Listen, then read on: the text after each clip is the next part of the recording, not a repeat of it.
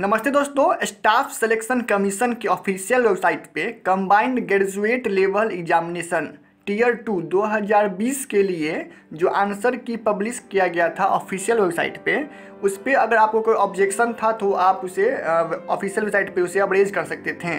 जिसके लिए कि डेट बढ़ा दिया गया है। अब आप 17 दो 2022 यानी कि 17 फरवरी 2022 तक अपना ऑब्जेक्शन जो आपको कोई खामी लगता है इसमें कोई गलती है तो आप रेज कर सकते हैं छः बजे शाम तक। यानी कि 17 दो 2022 के छः बजे शाम शाम तक आप अपना ऑब्जेक्शन जो भी है, आप उसे रजिस्टर कर सकते हैं।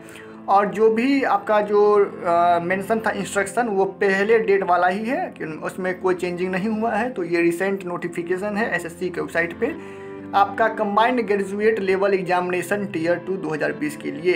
तो अगर आप कोई आपका ऑब्जेक्शन है और आपने सबमिट नहीं किया था तो आप जाके अभी सबमिट कर सकते हैं।